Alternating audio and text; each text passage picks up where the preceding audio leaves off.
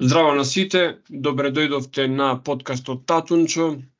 Мене ми е многу драго што некои луѓе кои што беа меѓу првите кои што ги прифаќаа поканите за гостување стануваат редовни гости, така што предпоставувам ликот веќе ви е познат, Димче Ацков. Здраво Димче, како си?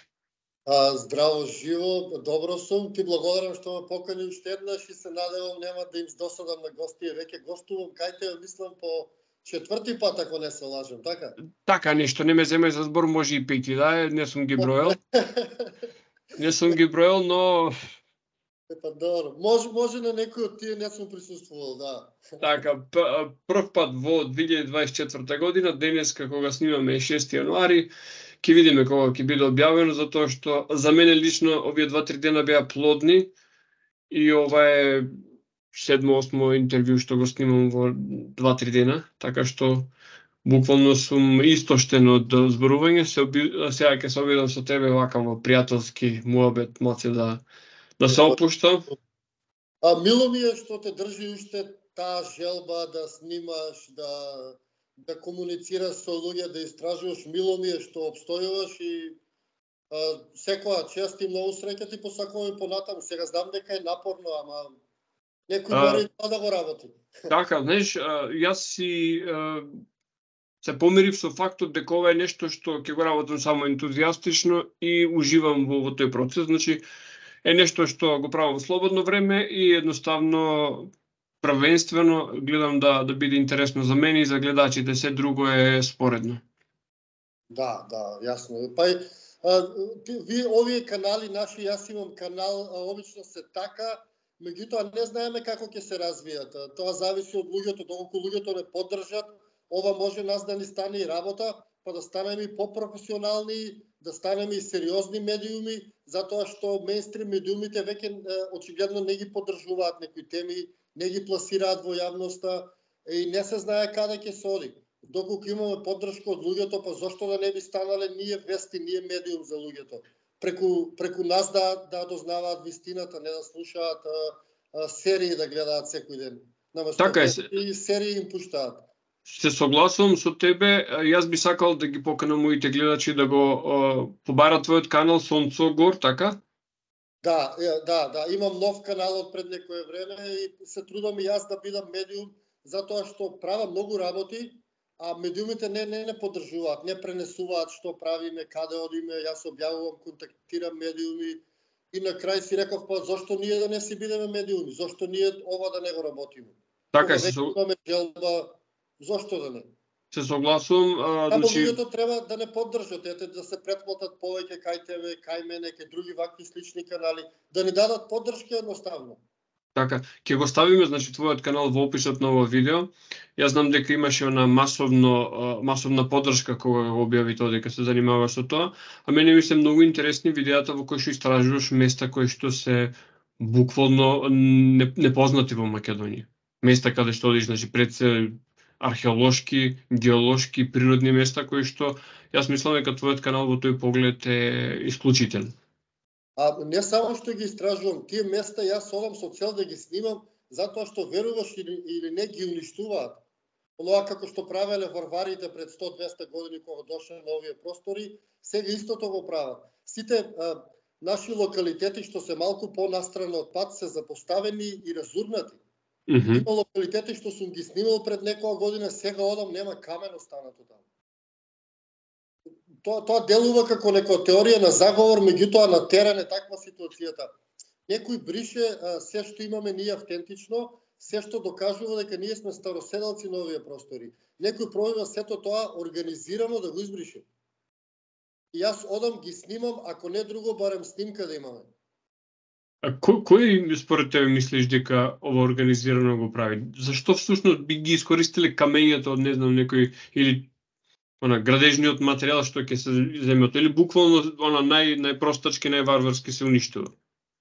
А, да не постои тој локалитет, на пример, ако таму постои локалитет а, со наши надписи, а, со наш стил на градба се поставува прашањето кој го изградил. Ако ние сме дошто тука во пети век, десети, кој ни кажува таму, а тоа постои од први век, и е исто со градбите што следуваат после 15 век, кој го изградил тоа? Значи ние сме го изградили, значи ние од секогаш сме биле тука. Заради тоа, заради тој стил на градба и тоа што докажува дека ние сме староседелци, се уништува. Ни останува тоа што е останато, што може да се препише на римјаните и на грците и на не знам кој таму тоа го остава. Се што има големи докази дека е наше, старо, тоа се уништува, верувај, или се остава на забот на времето некаде на страна, на пример, сега посетив една прекрасна гробница во Бонче, мислам дека се вика местото, Фасцинантна градба е таа. Така стои. Напуштена, нема пат, нема ништо до таму, не е одбележена, не е обезбедена, ништо нема. А за разлика од тоа, пред еден месец бев во Турција, каде слични такви гробници се наплаќа до 20 евра само да влезеш да ги видиш. Така. Така, значи во, во тој поглед јас уште еднаш нагласувам а, не само да се претплатат на твојот канал, и мислам дека луѓе кои што ја делат а, таа страст со тебе, тој ентузијазам може да ти да ти се придружат а, да, како логистика, како придружба, како масовност во напорите да се документира, да се заштити е, таквото наследство, затоа што, ајде поправиме ако не се лажам, станува збор за а, градби, кои што во времето еве на римјаните биле веќе древност.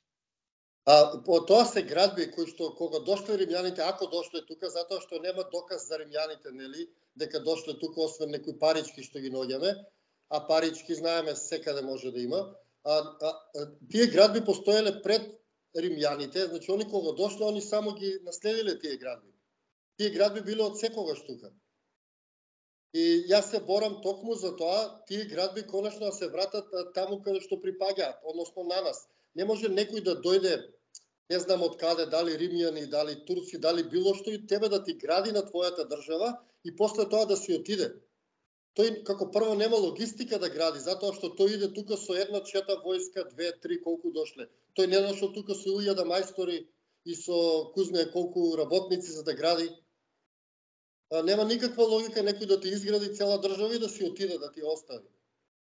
А, ево, во контекст на ова, ти а, пред известно време направи едно видео поврзано со аквадуктот а, во Скопје. Јас кога се градеше Скопје 2014, кога се правеше нови градби, сакајки да се нели да се подкрепи минатото на Македонија, кога се правеа тие нови градби, многу ми беше мака гледајќи како тој а, древен носат, носач на вода, тој древен водовод, се распаѓаше. Предпоставувам дека и сега не е подобра ситуација. Не, на они знаеш што прават? Оставаат мал дел, сега останат само мал дел и тоа е наречен аквадукт. Нашите предци тоа го нарекувале водонос. Така. Сега е наречен аквадукт и е препишен на римјаните. Ја бев посета на музеј во Скопје сега, таму се е римско. Се е римско, ја не знам што толку се улизуваат, на кој се улизуваат со тоа, се е римско. Во музеот во Скопје нема ништо македонско, нема ништо словенско, нема ништо, се е римско. Како светот да посва од римјаните наваму. А, а, а за воја на вистината Римско царство нели не ни постоело, постоело некоја Ромеја таму. Кај било и тоа е тоа.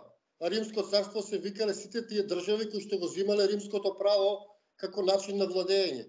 Ако е така, ние сега живееме во четврто римско царство, затоа што имаме римско право се уште. Так, так. Токму тоа биле римските држави, тие што го земале рим, нивното право на некој начин. И сега се да препишеме на таа цивилизација која што под знак прашалник дали била тука, освен што сме земале римско право од нив, е малце смешно и малце дури делува навредувачки за нас македонците како домороден народ и како стар народ на овие простори затоа што ние веќе како домороден народ, ние веќе ги губиме сите права на, на, на тоа наследство што го имаме. И тоа е малце јавно во својата држава ти да си домороден народ. Ние сме како индијанците во Америка, како абориджините во Австралија. Ние а, немаме ништо веќе наше домородно тука останато. Ништо. Види по еден...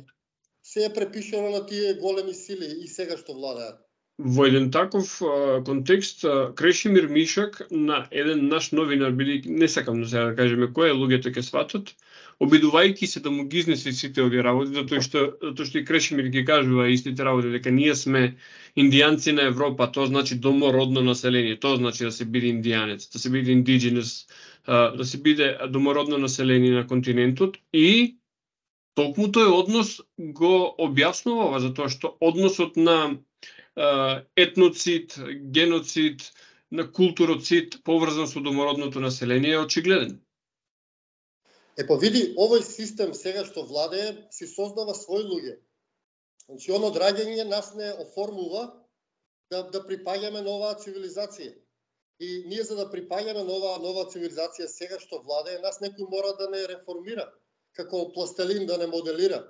Mm -hmm. И едноставно, ако ние немаме минато, ако ние немаме корења, со нас ке владеат многу лесно и нас ке не моделираат. И ќе им служиме како сега што служиме за работна сила некаде, за пополнување на некои дупки и така натаму. И јас мислам дека тоа сето се прави а, континуирано, а, се прави а, паметно, лукаво и дека нашите археолози и така натаму се само нивни слуги. Они ништо македонско немаат најдено, например, ти си археолог 30 години во Македонија, ти немаш најдено ништо македонско, пронаоѓаш само римски работи. Па тоа ја не знам дали го има некаде на друго место. И Имаше... Токму, тоа е жално на овие простори. Ја токму тоа пробувам да го сменам. Да им кажам на луѓето, луѓе не мора да им бидете слуги на на тие на тој запад, на тој Рим. Ние си имаме наше, ние немаме ништо против нив. Ние сме се развивале напоредно со нив. Што имаме ние со нив? Ние си имаме наша култура, си имаме наши објекти, си имаме наше родоверие, Нема ништо лошо во тоа, ние на никој не му сметаме, на никој не му сакаме лошо, ние си осакаме само нашето. Да си так. го знаеме, затоа што ако немаме корен, што ќе правиме без корен? Како вика Орвел, тој што го владее минатото, ја, ја создава и мината. Така е, така е. Согласен со тебе, а, имаше еден поранешен директор на државна безбедност, Богоевски, сега не ми текнува а, точното име, кој што има напишана книга поврзана со македонската историја и тој кажуваше исто кога а, имало издадено некој зборник или а, каде што се наведуваат сите македонски археолошки локалитети. И вика единственото македонско во таа книга беше насловот. Да. Македонски археолошки локалитети, додека внатре содржината вели од грчко време, од римско време, од вакво време, онакво време, никаде не постои македонскиот период, што е абсолютно. Тоа, тоа е голема навреда за нас, меѓутоа сето тоа е базирано на предпоставка. Они немаат никакви докази за тоа. Например, во музеј во Скопје кога влегуваш, има една голема плоча што пишува Македонија, најдена некоја стара, друго се е римско. Јас шетав таму, мене лично ми се гадеше И да се гадаше од тие луѓе што работат таму, од тие луѓе што го напишале тоа, па како може да има толкави слуги на овој свет, доброволно да го прават тоа? Свесно ли, несвесно, не знам што им е. Јас шетав на музеот, барав нешто македонско. Немаше. Иако се е таму македонско, се е наше. Ти, на пример, ако најдеш нешто на некоја територија, па тоа припаѓа на таа територија. Од таму е старо, не може да биде на друга територија Јасно дека е сето тоа наше македонско. Меѓутоа сватив дека кај тие луѓе што се археолози и тие луѓе што се китат со некои титули кои што нели системот ги ги бутка напред, а, нема да има промена, нема тие ништо да заштитат, нема ништо да направат, затоа се решив сам. И, и, и за воја на вистината, многу луѓе се соединивме околу таа тема. Луѓе од различни категории некако се спојбме на таа тема, и некој начин се формира некое јадро, некое движење на луѓе кои што сме свесни за тоа што ни се прави и се бориме колку можеме. А, така, а, ајде да се вратиме на една работа која што јас и тие правивме во еден од предходните подкасти, каде што тогаш беше актуелно она масакрирањето на, на кучињата. И тогаш ти спомна и многу луѓе не, не, не, не критикуваа за тоа го одведува моабетот дека ако си за кучињата си против децата и слични глупости, тогаш ти рече дека тебе работата ти изгледа како да е некој сатанистички ритуал, дека е некој мрачен ритуал. Да. Не помина многу време ние не само во Македонија и пошироко имаме чувство дека тој ритуал се го прават и со луѓе. А знаеш како ние тогаш ако сеќаваш кога правевме разговорот, јас спомнав дека во наредните недели Македонија ќе биде под дејство на тоа они што го направија. Во наредните 3-4 недели во Македонија се случија толку убиства, толку лоши работи што а, ние испаднавме во право. А, за жал, не сакав да испаднеме управо, ама испаднавме право. Тоа се беше точно што кажав, ми се потврди со текот на времето кои направија нешто, што потоа прошири негативна енергија и Македонија беше под бран на наследство, како што предвидовме во тој подкаст, ако се сеќаваш. Така, така. И сега то, то наследство... Тоа, тоа може да се негира, тоа го има, neko пуштат подкастот луѓето, тоа го кажавме и тоа се случи. Јас не сакам да биде така, ама тоа е очигледно. Значи, сега имаме случај каде што подолго време македонскиот македонската јавност цела беше колективно внесена во еден случај кој што резултираше со грозоморно убиство. Предходно го имавме случајот во Белград. Пред некој ден го имавме случајот во Праги. Гледаме дека тоа станува, значи едноставно како колективно бунило во кое што нели јавноста не може да да да, да се концентрира на правење добри работи. Туку едноставно постојано треба да ја билдаме таа негативна енергија и страв. Како да, го доживуваш ти ова? Види, ако си приметил они сето тоа го прават во овој мрачен период. Кога кога тие мрачни енергии, кога ноќта е јака, кога темнината преовладува и се овој период го прават тоа. Значи, на овој свет ние мора да прифатиме дека постојат луѓе кои што си ги бркаат тие работи, кои што ги работат тие езотериски работи, кои што влијаат на енергијата на луѓето. Тоа е факт. А за овие работи очигледно дека нас не држат во страв. Значи, јас се разочаров од луѓето затоа што се како на некое копче. Кога сакаат ги пуштаат, кога сакаат ги гасат. Јас се осеќам небезбеден и со такви структури што убиваат и со такви структури што ја контролираат луѓето. Јас едноставно се чувствувам небезбеден кога сум меѓу луѓе. Значи може некој да пушти копче и сите тие луѓе се свртат на кај тебе да речат, таа види го димче што зборува, сакаш направите му нешто и луѓето ќе се свртат како зомбиња на кај тебе. Јас се чувствувам престрашен од тие луѓе, значи им пуштија вест дека некој убил таму и сите никој не ги проверува фактите. Сите како на копче бараат најстрога казна, бараат крв, бараат убиство. Ја ја бев шокиран од сето тоа што се случува. Шокиран од нивото на контрола што имаат врз луѓето. Јас не можам да, да верувам дека се има толкава контрола. Додека од друга страна слушам луѓе нешто кажуваат, работат на себе, истражуваат, кој работи на себе? Со едно копче и контролираат луѓето. Не знам дали постои некој центар, па уклучуваат нешто, па влијаат на луѓето. Сите луѓе во одреден период се како под команда. Утре некој за мене да рече нешто, истите тие луѓе сите исто ќе изреагираат, ќе бараат најстрога казна, ќе бараат крв, иако а, нема никакви докази за тоа. Исто и за убиството што беа во Скопје, ништо не знаеме Ни има обдукција направено, ни има цврсти докази кажано, освен медиумите што шираа некоја хајка против некој човек таму што не знам што работи. Ду, ду, дури да е дури да е тој, тој човек треба да помине судски процес и на тој судски процес да се извадат доказите, да се процесуира сето тоа и кога ќе имаме судска пресуда, тогаш ќе знаеме кој е виновникот. А знаеш како? Луѓето седат и викаат, а вие криминалци што се на власт не крадат, не ограбуваат, влада е мафија. И ти истите криминалци утре испаѓаат на вести им кажуваат нешто и вие сите им веруваат. Па нели се криминалци, нели до вчера викавте дека крадаре, дека се мафијаши. Како денеска им верувате сите од, од прв до последен? Значи самите луѓе се под некоја контрола. До вчера викаа а вие мафијаши не крадат, ги гледаме дека се најголемите бараби, најголемата стока не владее. Значи тие луѓе што не може да успеат во животот се пуштаат во политика за да ни ги, за да ни ги крадат парите, а при тоа полицијата ги штити, нели, да не можеме ништо да им направиме. И они под заштита на полиција цел време не ограбуваат. Са сите тоа го зборуваат, сите викаат ги гледам и какви фаци се, фацата им се гледа какви се, да бидеме реални. Колку се добри и колку се грижат за нас. И утре ти истите луѓе испаѓаат пол од нив се со досиета му владата испаѓаат и им кажуваат нешто и вие сите им веруваат. Мене тоа ме чуди. Тоа ниво на контрола ме плаши да, да бидам искрен. Мене ме плаши, јас не се плашам, јас спијам во шуми, а, сум се шетал со диви животни, не сум се чувствувал уплашено. Ама кога ќе видам ваа маса на безумни луѓе контролирани од медиуми и од политичари, ја искрено се плашам. Затоа што треба некој само еден надпис да напише за тебе толку. Завршено е со тебе. И друга една работа што ја спомна ти, во Македонија реална економија речи си и да нема. И системот се одржува преку зема, константно земање на кредити. Повеќето луѓе не сваќаат дека некој со тоа земање на кредити краде од иднината нивна и од иднината на нивните деца и внуци. со тоа што се задолжува во нивно име. Тој политичарот го става подписот, ама не го става подписот со собствена хипотека, државата е во хипотека.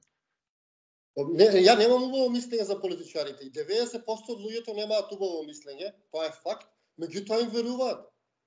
И се надам не сум многу остар со овие зборови, меѓутоа јас сум реален човек. Напротив, напротив. Јас не може тоа се плашам, јас сакам животот да си уживам исправено, како македонец, како што сме живееле од секогаш. И се чудам сите тие луѓе како им веруваат. Како може во, во Македонија, јас сега ќе кажам тоа јавно, во Македонија, не знам дали и во светот, влада еднопартиски систем луѓе. Едно парти, во еднопартиски систем живееме. Ништо така. не се менува. Ништо не се менува. И упорно луѓето си веруваат. Оке, нека веруваат. Тоа е тоа. Живееме во комунизам кој што е маскиран во некаква демократија, Односно не е ни толку не е ни толку комунизам колку што е една партија со примеси на комунизам и помалци на фашизам, зависи кога што сакаат да спроведат. А кога сакаат сите партии што се тие од едната партија крилата си ги гласаат работите. Кога си гласаа сега поточување на плати, сите си изгласаа заедно. Кога треба нешто да се удвараат на Европа, сите заедно гласаат. Како за тоа се договараат, за некои други работи не се договараат. Меѓутоа, ваа мене тема ми е детска и веќе малумна станува. Во Македонија влада еднопартиски систем, една партија е на власт веќе 30 години и да им кажам на сите луѓе дека тоа се македонци на што награбуваат. Они така. цело време го вртат прстот на кај други националности. Нас 30 години награбуваат луѓе што имаат македонско државјанство, да речем. Не знам дали се македонци по потекло да вратиме назад дедовци, прадедовци. Меѓутоа тоа е тоа. А, нас награбуваат македонци, цело време и сега пак има избори кај нас, па истите тие луѓе ќе не малтретираат, па истата партија ќе дојде на власт без разлика како какво име има напред. И јас на таа тема не ни размислувам многу, не ни навлегувам многу, едноставно ги гледам работите чисто затоа што јас ги гледам острана работите и мене ми е се јасно. Јас многу пати сум мислел дека ако сум, еве сега кога зборувавме за тоа дека треба да бидеме алтернатива на меинстримот, сум да. мислел дека ако некој работа сум меѓу првите или прв што ќе извади, и ако е интересна, ако е во во фокусот на настаните, дека ќе сврти внимание. Е, ово кажам за тоа што мислам дека соучесници на политичарите се секако и новинарите, односно медиумите, кои што исто така заштитуваат центри на моќ. Ке ти кажам пример, Тренчо Димитриевски од Прилеп, беше кај мене во подкаст и зборувавме за Каракамен, за значи, случувањето таму со минералот Македонија и, и се останат. Значи човекот го знаеше тоа, ама јас му го дадов просторот малку повеќе освен неговиот нели портал pelagon.mk да зборуваме за тоа. Изборувавме за тоа. Ја ја извадивме веста малце пошироко. Што мислиш, колку портали или е, новинари го споделија тоа мое интервју со него? А, види, за тоа јас снимав видео за Кара Камен. А тоа видео имаше 200.000 прегледи на YouTube, тој Reels. Значи, а, јас сваќам дека нас мейнстрим милионите веќе не ни требаат. Они сами си се гасат затоа што следат неважни работи и луѓето ќе сватат порано или подоцна. Без разлика дали некој го споделил или не. А тоа видео за Кара Камен ја бев зачуден какви реакции имаше од луѓето и колку многу се споделуваше има, не знам, милијадници споделување, има 200.000 прегледи. А, значи, луѓето се повеќе се вртат на кај некој што им изгледа автентичен и реален. Сваќаат дека тие мейнстрим медиуми работат по, по некоја нарачка. Имаше еден новинар, бараше изјава од мене за Каракамен. Јас како јас, како Димче си го кажав тоа, и он после ми пише, јас не можам воа да го објавам. За жал, многу ти остра изјавата, извините, ценам, нели? Толку беше. Не го објави тоа. А знаеш како во таа во таа острина јас сум убеден дека немаш користено пцовки, немаш користено навреди и немаш користено да речеме јазик кој што не може да биде објавен. Не, како сега си критичен, но таа бивање критичен оправдан. Да, не, јас само кажав дека тоа место Кара Камен е свето место на нашите македонци. Таму на Каракамен не знам со Тренчо, не стасав да го изгледам а, интервјуто затоа што немам интернет. Сега сум во Велес и имам интернет, имам струја. Меѓутоа на имотот немам струја, зимно време немам струја, оти сум на фотоволтаици. Меѓутоа на тоа место постоеле кристални карпи, кај што, кај што се копа сега. Mm -hmm. се уништени во 73 година и биле светилиште на македонците, на локалните. Така, така го, го, го обработивме тоа, да, да. Е, е па сваќаш тоа што се прави. Американците кога ги напаѓале индијанците, прво им ги разнеле светите карпи, нели? За да немаат волја индијанците да се борат, па после ги нападнале физички. Токму нас не се прави тоа. А, се разурнува свето место на македонците, значи некој ни копа во душата, А е тоа го кажав, е во контекст. Немаше навред, кажав дека тоа е некое место што е поврзано со македонецот, што е свето место на македонецот, што е културно наследство и дека не смее таму да се копа. Е толку е тоа. Тоа им е остронив, зависи. За тоа треба ние да постоиме и треба луѓето да не поддржат. Треба да сватат луѓето дека дека ние ова го правиме затоа што на некој начин а, нема кој друг да го прави тоа. Ете тие конеси, кој ќе ги обработува овие теми? Кој? И уште неколку луѓе сега да не, да не има некој што работи, а да не го спомнам затоа што не следам многу. Има, има. Пала но... Бог, нека има, и повеќе нека има. Кој ќе ги работи овие теми? Нека и луѓето мора да ни дадат поддршка, затоа што пред се ние сме материјално, не сме многу моќни материјално. Мейнстрим медиумите имаат коли, имаат камери, ја, например, имам телефон стар 7-8 години и така натаму. И мора да не поддржат луѓето на било кој начин. Да Дори чудо е што функционира тој твој телефон. да, да, да. Технолошко чудо. Да, од мене. а, значи, ова е интересен момент што го кажа затоа што а, ние живееме веќе 2000 години, барем така велат дека христијанството постои 2000 години и живееме, поголемиот дел од народот живее во убедување дека нашите корени се во тоа што се нарекува православие и христијанство. А ти зборуваш за некакви свети карпи, зборуваш за свети места кои што те многу постари и многу помокни, очигледно, што нив ги рушат, а црквите стојат. Е, па види, црквите, некои од тие свети места ги завзема, направија цркви, некои места остана, може беа заштитени од локалното да население, затоа што тоа што го нарекуваме сега христијанство не е старо 2000 години, не се лажеме, неколку стотина години е старо, нема врска. Тоа е друга тема, ќе ни треба сати сати да објасниме. Меѓутоа, кога дошле таа тугинска вера тука, локалното население некои места пружало организиран отпор. И на тие места таа нова вера, тугинска вера, што вика нашите предци, не навлегна не успеала да освои, локалното население се борало против нив и тие места се зачувани. Другите места сите запоседнати, врзнив е, ние сме имале порано енергетски места кои што служиле на луѓето да се наполнат со енергија. Меѓутоа кога дојде оваа вера, она ги зациментира сите тие места. Ги затвори, изгради објекти врзнив и таа енергија на некој начин тој проток на енергија го затвори. Види такви места а, постојат многу каде што постои очигледна слоевитост, например, такво едно место е Плавошник и наместо да се работи археолошки, таму се изградија цркви и после се изградија и, и други објекти на црквата од армирано армиран бетон, нешто што еден Ватикан не си го дозволува во Рим, кај нас го направија, значи на такви места да изградат објекти кои што ќе покријат самата археологија, самите науди. Но самата енергија, сам, самата енергија од енергијата тебе те движи, те ти копа однатре, те тера да, да истражуваш, те тера да бараш вистината. Они се плашат од нас како народ. Како стар домороден народ, сите овие, ова нова цивилизација се плаши, затоа што она си создава нови луѓе, што ќе служат незе. Старите незе се непотребни, вишоки се, и ако не може да ги претопи, тогаш ги уништува. Така, ако не можеш да ги ставиш во, во на Значи колона на, на, на зависни на зависни робови стануваат опасни.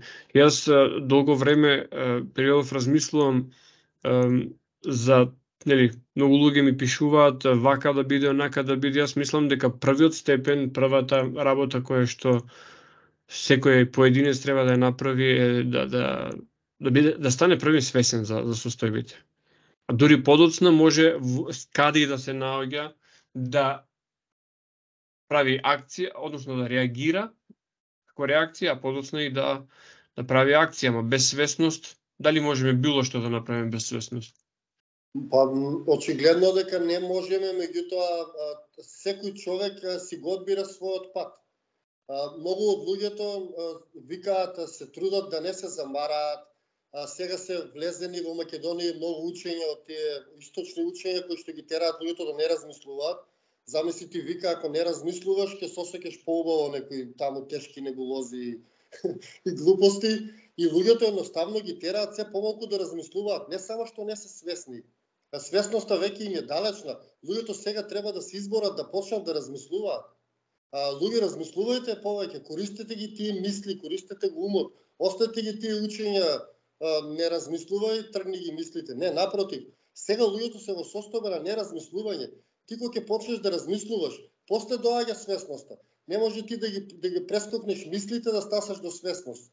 И луѓето ги блокира наназад се неколку скалила. Да се дојде до таа свесност, треба многу работа, треба многу истражување и треба многу посветеност.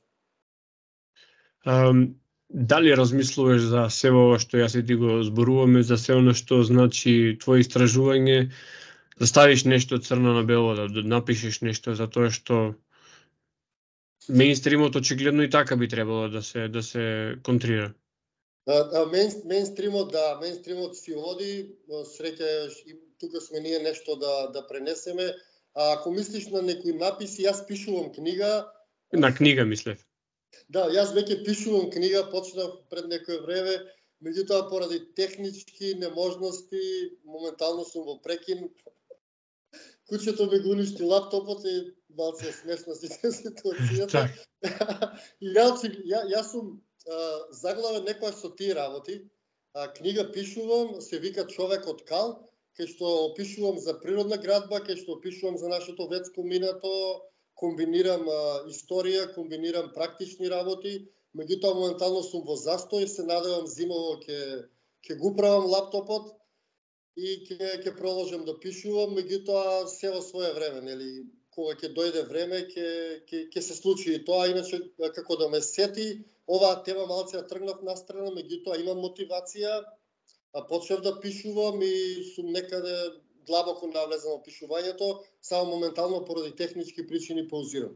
Каков тип на книга планираш да биде тоа нарација, нешто како роман или да биде со објаснување техничко раскажување? Тоа ќе биде човек од калсти вика, тоа ќе биде мојот живот, како почнав јас да истражувам, како дознавав работи полека и кои работи ги имам дознаено, тие наши стари веди, некои стари книги што сум ги нашол, нешто пренесувам, некое наше старо знаење, и генерално ќе биде практична книга за како да може луѓето да преживеат во природа, како да на некој начин како да да живеат во природа само одржливо.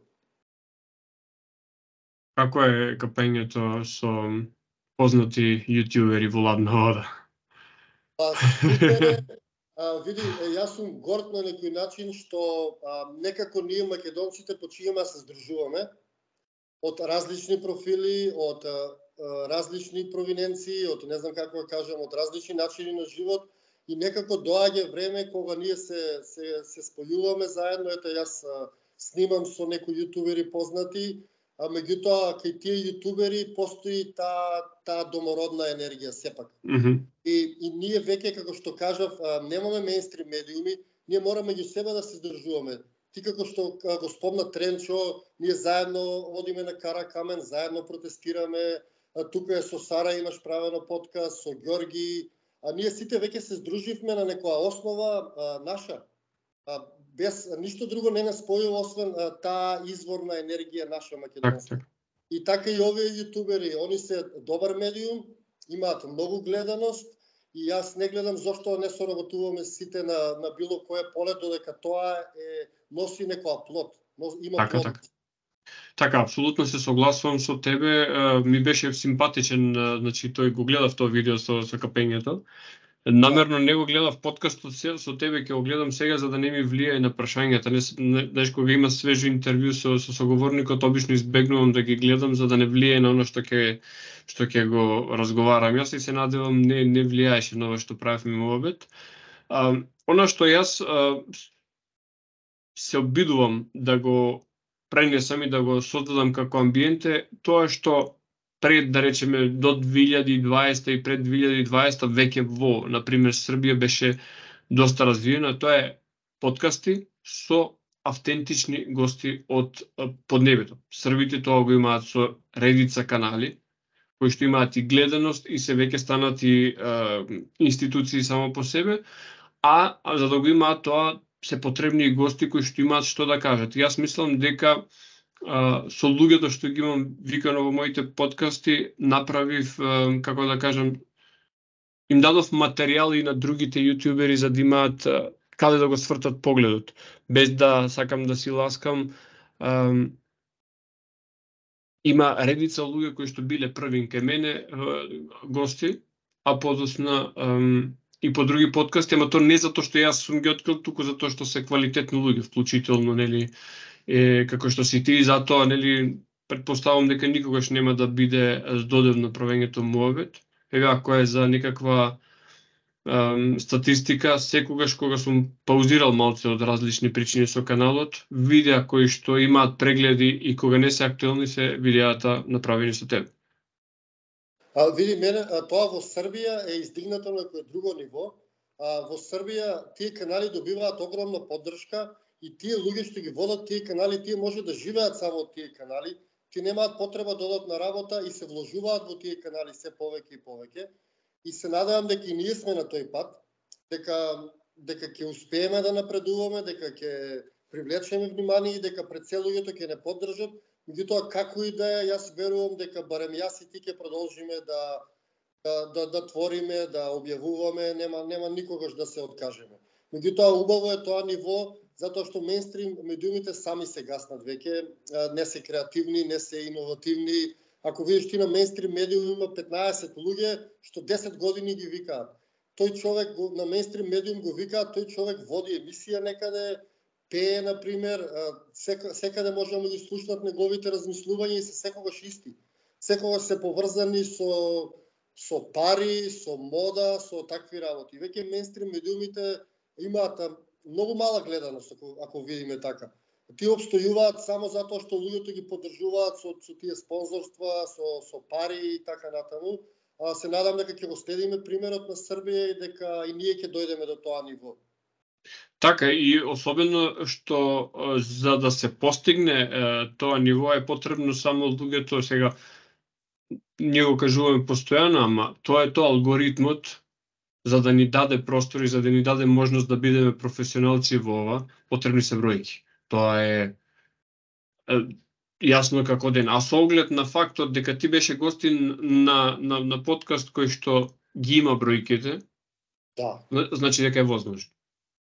А, да, да, тој подкаст ги има бројките и тој е најпопуларен подкаст во Македонија и нема никој оне па после него 10 скалила сите сме надоле. Да. Тоа е факт. Така, дури некои институционализирани е, канали како што се на, на, на новинари кои што работеле предходно на телевизии и тие канали се со број на предплатници многу многу подолу. Така што во тој дел, значи, е, кој да бил начинот да се постигне тоа, секој е чест. Значи, не, нема, нема збор за, значи, пред, пред вистината и, и боговите молчат, нели? Така е, да, да тој, тој подкаст, гледаш, дава простори на, на секакви луѓе. Јас на тој подкаст нема никаква цензура, како со тебе. Ке го гледаш, ке видиш, за се ме оставија да зборувам, затоа што а, тој човек а, што го има подкастот Лазаров, тој сам си одлучува мене тоа ми се допаѓа, да нема никој како ти, како мене, да нема уредници зад нас, да нема некој да ни прави притисок и такви луѓе треба да поддржуваме секогаш. Затоа што новинарите, мейнстрим медиумите имаат уредници, имаат амбасади зад нив, што им кажуваат, што напишуваат и така натаму и така натаму. Меѓутоа овие независни медиуми, јас секогаш ќе ги поддржувам. Знаеш, треба да се кога се зборува дека некој некого цензурира, постојат луѓе кои што ја имаат природната, не знам, потреба да бидат вулгарни, да бидат недолични и слични работи и тоа не, не, не дека треба да се цензурира, туку тоа на, на таквите работи не треба да се даде простор. Но на слободната мисла, мислата која што критикува и која што дава ам, конкретни идеи, никогаш не треба да се стави цензура, зашто и да е ние тоа во изминатиот период се соочивме со таква цензура каде што нели имаше факт чекери или не знам што. Ако некој сериозно сака да направи факт чекирање на ова што го зборуваме ние, може се да измисли, ама од друга страна а, ние можеме секојаш да кажеме тоа е моето размислување и јас од друга страна имам природно право да размислувам. Имам природно право слободно да се изразувам. Ако не што човек сум ако не е така. Секако, секако. Затоа треба луѓето да не поддржат да продолжиме да шириме таа слободна мисла затоа што како кај тебе го видов тоа слободата е веќе необходност. А на некој начин ние немаме слобода и треба да се избориме слобода на говор, слобода на движење, слобода да имаме собствена историја и слободата е многу важен дел од овој живот. А, знаеш, само а, кога зборувам за слобода, многу пати од луѓето слободата ја поистовитуваат со с, се воли или со да се прави што се сака. Слободата значи да се биде слободен онолку колку што е слободен и другиот. Значи мојата слобода завршува каде што почнува твојата. Не не може една слобода да, да биде во судир со друга. Кога беше пандемијата, многу пати зборува зошто сега се прави полициски часови, зошто се прават ограничување на слободата на движење, заради е, правото за заштита на здравството. Ако ние направиме правен систем во кој што еден закон го минира другиот закон, тогаш е лош правен систем, така? Секако, да, да, да, да, да. Така што слободата е тоа. Значи, слободата значи заедништво, слободата значи поддршка, слободата значи подпора. И јас мислам дека ако се е, препознаеме едни со други, првин како луѓе, а после како се друго, мислам дека сме на добар пат. Сме, сме, а, но мора да обстоиме во, во, во тие наши пориви, во, тоа, во тоа наш, наше движење и на некој начин да, да ги замениме веќе мейнстрим медиумите, затоа што се кој што кажат и не само а, невистините, туку веќе стануваат и штетни, а посебно за нас македонците како домородно население, а, сите медиуми шират некоја западна пропаганда, а, сите медиуми работат а, по директива, едноставно мора луѓето да не поддржат за да добиеме ни некој ветар во грб за да обстоиме во тоа што го правиме. Јас ова го повторувам многу пати, затоа што сум уклучен сега во, во борбата за Кара Камен. Ние сега бевме на нова година, свиревме таму, пеевме, ширевме љубов, никој не нас подели од медиумите. Повикавме многу медиуми, не дојдоа. Ние имавме толку убав настан на Кара Камен, се свиреше таму, се пееше, се дружевме, а, никој никој не не сподели. Што тогаш сватив дека мейнстрим медиумите се веќе забегани многу стана забегани и мора, мора ние самите да си правиме нешто. Еве, ја спомна нова година, а, секаде во цел свет нова година се сведува на прејадување, препивање и премногу пиротехника. И јас а, а таа пиротехника во многу места, вклучително и во Македонија, е организирана затоа што тие големи огномети ги прават организираат дали градовите, дали општините, ги организираат тие големи огномети. Е па, што очекуваме од такви луѓе што, што ги гласаме, значи, што очекуваш ти од таков човек што а, политички што дошол на власт, што не правил ништо во животот? Што очекуваме? Очекуваме насилни работи, очекуваме огномети, очекуваме несвесни работи. Ние ние треба предвреме да реагираме. Значи, посебно кај нас во Македонија а е толку примитивно тоа ниво на славење на нова година, а толку неубаво што јас го избегнувам. А иако мојата нова година нели си ја славам кога се раѓа животот, меѓутоа сите луѓе слават сега и сакам некојаш да учествувам, меѓутоа не можам, тоа е толку варварски на некој начин, толку насилно што јас мојот стомак не може да го свари тоа од тие пиени луѓе, од тие петарди, од тој разврат што го има и на некој начин ние не успеавме да напредуваме во, во нашето гледање на работите. Доколку сакаме да прославиме нешто, можеме да го направиме тоа на многу поубав начин од ова сега што го правиме. Плюс и веќе е досадно, веќе колку време тоа патоа е. Чекаат луѓето слободно време за да се опијат да заборават на проблемите. Тоа е, како да кажем, суштината на тој консумеристички систем во кој што секое слободно време, еве јас ги упатувам гледачите да го погледнат моето видео за празници. Празниците се така направени, така распределени низ годината, за да ни даваат слободно време да сите, значи, заработените пари ги трошиме. Значи, секојаш ни даваат повод. Еве сега јануари е најтипичен пример. Во јануари а, значи нема ден во кој што не се прави нешто, во кој што не се а, а, претерува и најголем дел од да речеме од таа храна која што ќе се направи во текот на јануари ќе се фрли. А, јасно, мене ми е чудно, а, покрај сите тие работи што изгледаат дека човештвото на некој начин се менува, испее дека човештвото не се менува. Дека човештвото токму по овие празници се гледа го прави истото што го правило нараз за 50 години. Декларативно само луѓето зборуваат, никој не ќе направи промена. Сите купуваат поклон. Сега кога ќе почнат, во овие два месеца 10 поклона купуваат луѓето како да не знаат друг начин да изразат благодарност, немаат креативност веќе. Мора да купи нешто. И најчесто купува од тие луѓе што им ги измислија празниците, нели? Празниците се измислени од тие големи компании. Овие празници не постоеле, сега што славиме, нова година, време нешто славиме. Не знам тие празници од кога постојат и зошто се слават. Да ги прашаш луѓето. Ама гледај. Нас да, да. даден избор а, мене многу луѓе ме прашуваат а, а, зошто ти си против празниците. Јас не сум против празниците. Јас сум се родил а, на овој свет, на ова парче земја и мене не ми е дадено избор. Ти си се родил тука и ти мора да славиш Божик, мора да славиш Нова година, мора да славиш тоа. Мора да славиш водици, колку се тие празници. Мене не ми е даден избор. Јас се борам само за правото на избор. Не може од самото раѓање мене да ми наметне некој што да слава. И никој не се противи сите си се редат и си ги слават тие празници. Ги праша зошто ги славите. Од кога почнавте да ги славите? Како дозна за тие празници? Они ти речат, не знам, мајка ми, црквата, школото, учителката ги слават, медиумите и јас. И така, не се... Е тој обем од песни, до билборди, до родители, сите сегменти на, на системот се уклучени да те натераат тебе да го славиш тоа. Ти не можеш да избегнеш од празник и ти фактички немаш избор. Јас се борам само за правото на избор. Ти така. слави се ако сакаш, нека ти дадат 3-4 празника и ти одбери си сам, а не како некој зомби сите што прават и ти правиш. Види Димче, ако свесно подразмислиме, еве, јануари веќе сме во јануари знаеме нели православен Божик и сите останати православни празници што ги има.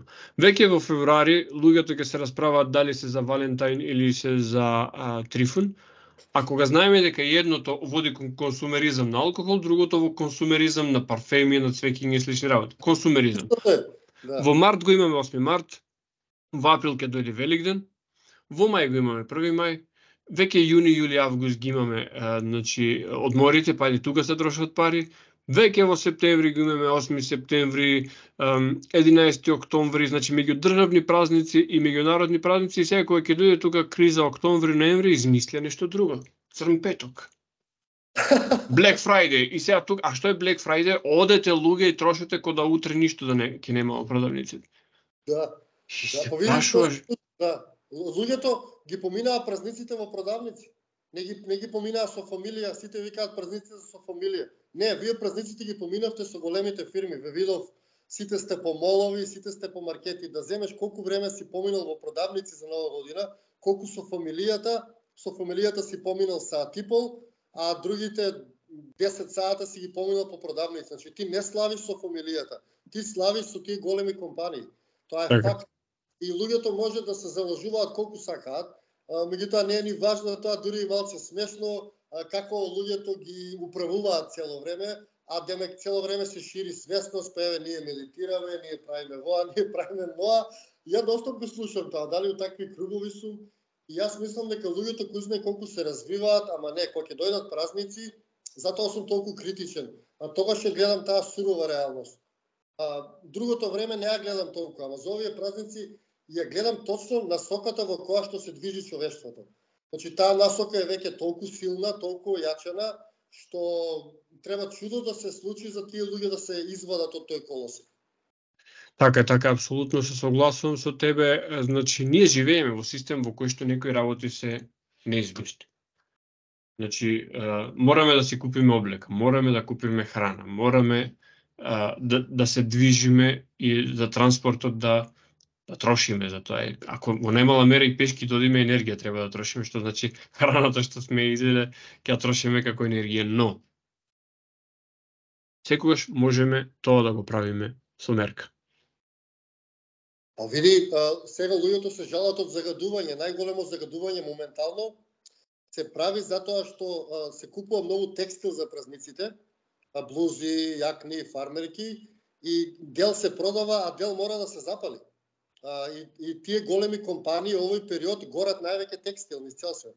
А моментално загадувањето најголемо во овој период е од текстилот, што кажат ти мора да се облечеме, мора воа, па сега пресечи дали сакаш здравје, дали сакаш загадување.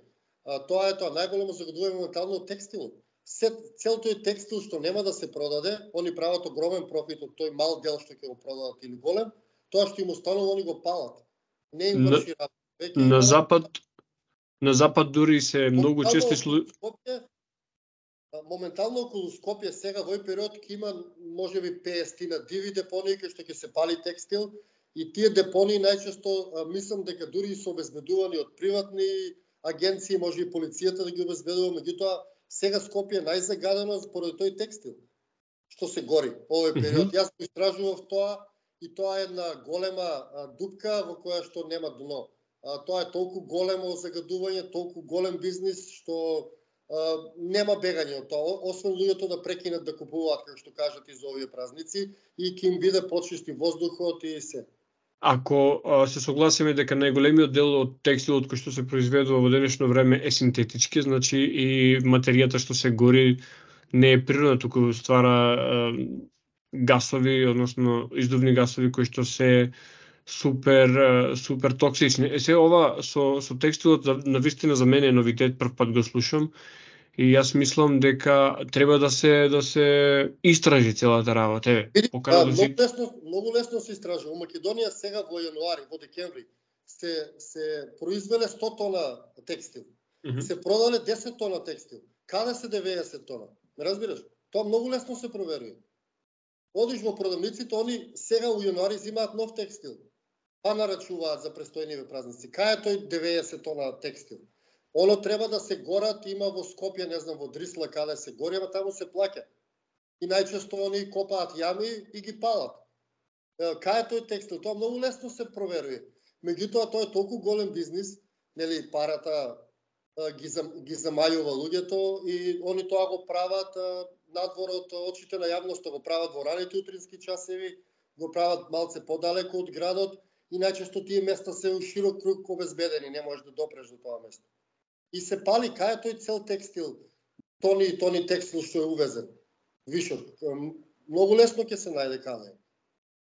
Така, доколку се провера тоа ние... Така ќе се спасиме од загадување, ќе спасиме тие, тие дечиња што се гушат во, во тие димници таму и во, во градовите. Ама и никој уште... не интересира вистината, знаеш како? Луѓето некако не ги интересира вистината, ги интересира да го задржат нивниот стил на живот Например, ностоп го слушам тоа, јас живеам во градот заради децата, например, не ќе да смени ништо. А сакаш да ми кажеш дека ти живееш заради дето покрај некој кафич и покрај некој ресторан или покрај некој трговски заради твоето дете живееш. Значи луѓето веќе не знаат, самите се лажат, сите ги лажат заради тоа, заради нивните избори што ги прават. Луѓето так. мора да сватат дека мора да направат драстична промена. А не може веќе ти изговори, јас заради детето живеам во град Зошто заради детето? Детето му е се исто кај живее. Ти одлучуваш кај ќе живееш и како ќе правиш. И луѓето тоа го прават, се лажат самите себе си, после ги лажат најблиските и се останува исто. Ако видиш ти Македонија станува најзагадена држава во светот можеби. И секоја година се полошо и полошо. Да, во, во, во нивото на градови како Пекинг и Шангај стануваме, а тие барем имаат тешка индустрија, не знам ние нивото на индустрија што го имаме не соодветствува толку на загадувањето, значи тоа е стварно еден феномен кој што Ето, во Македонија стануваат стануваат фрустрирачки овие теми затоа што не се од денеска, не се од вчера, 30 години се. А, толку долго се провлекуваат што веќе станува смешно, мене ми станува смешно да коментирам за загадувањето во Скопје.